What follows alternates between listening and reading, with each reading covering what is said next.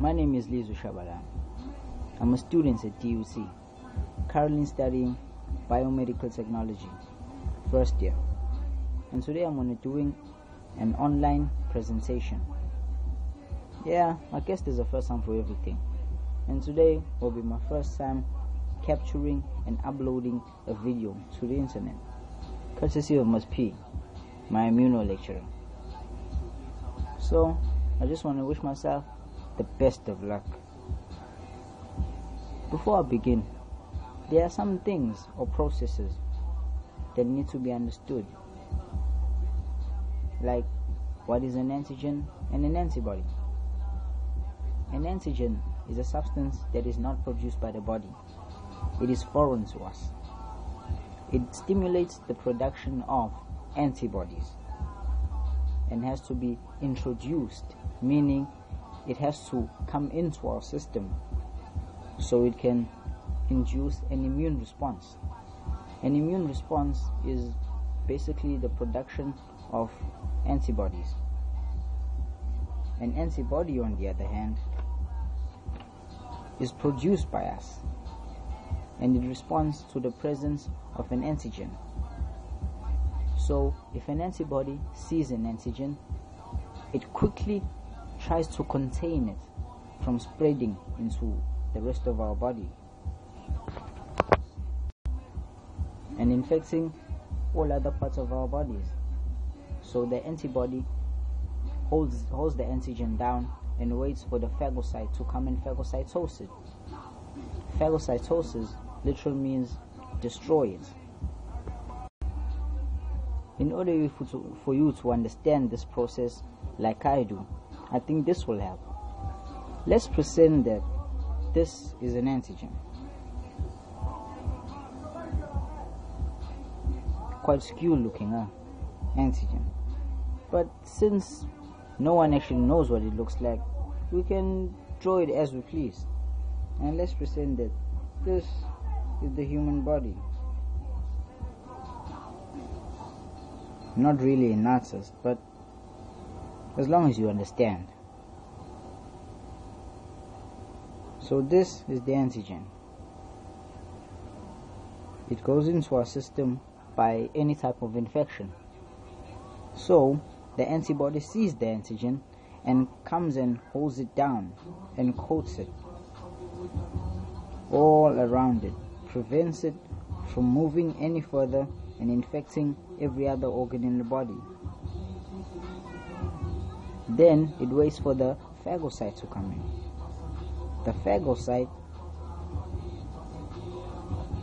comes and eliminates the antigen by phagocytosis. So my understanding of the whole, of this whole process is like this. I just present that the antigen is a bad guy, like a criminal or thief in the real world, and the antibodies are like policemen.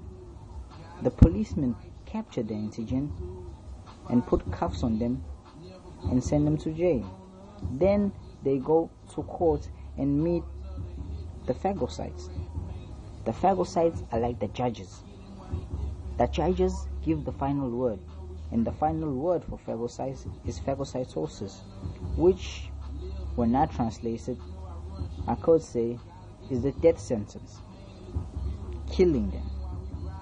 Well, this is just my understanding, but I think we get the picture by now. So that's how our bodies protect us from harmful substances. There are two types of antibodies IgG and IgM. These are produced depending on whether it is a primary or secondary immune response. IgM is produced by the primary immune response and IgG by the secondary. But today, my primary focus is going to be on IgG, which is produced by the secondary immune response. What you have been staring at for the last four and a half minutes is basically the structure or the imaginary structure of the IgG molecule.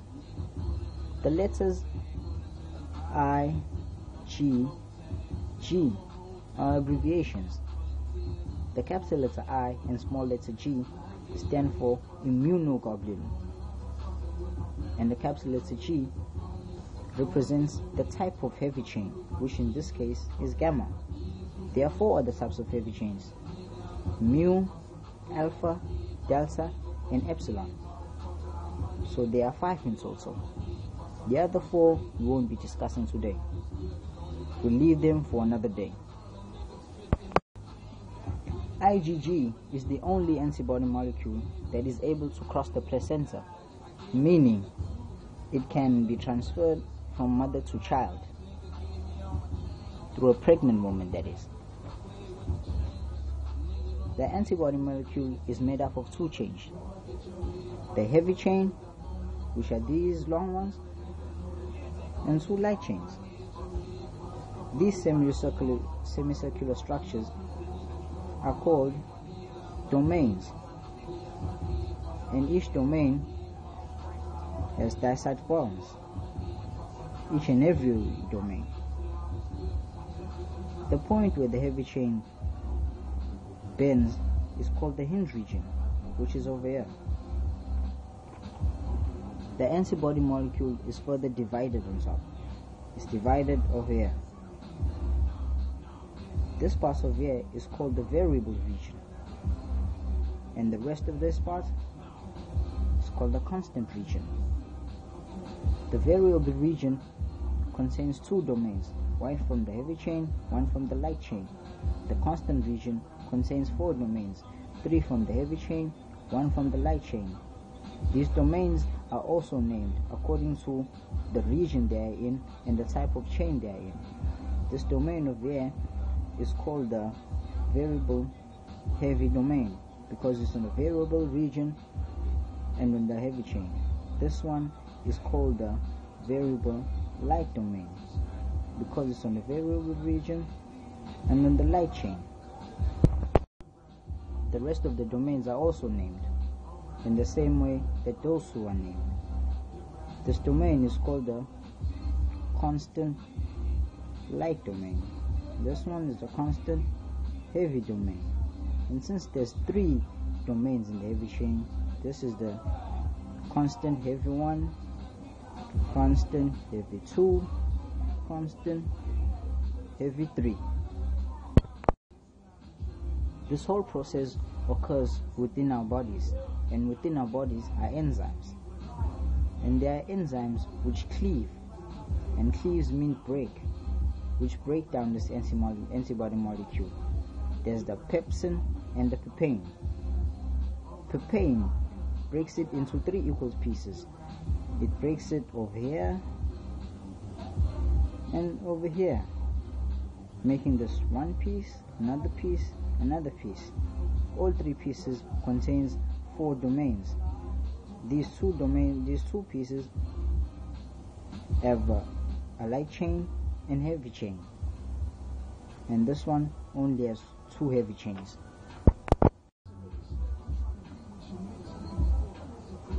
That is where papain acts.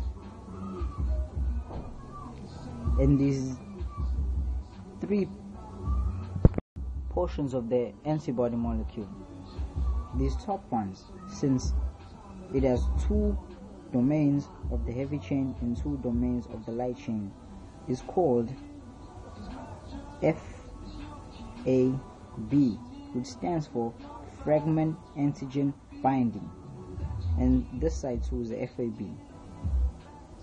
Then this side over here is called the F C region, which stands for fragment crystallizable. Another enzyme that acts on this antibody molecule is called pepsin. Pepsin. And it cleaves this molecule over here, dividing it into two right over here and the side too so it divides it like this the top portion and the bottom portion.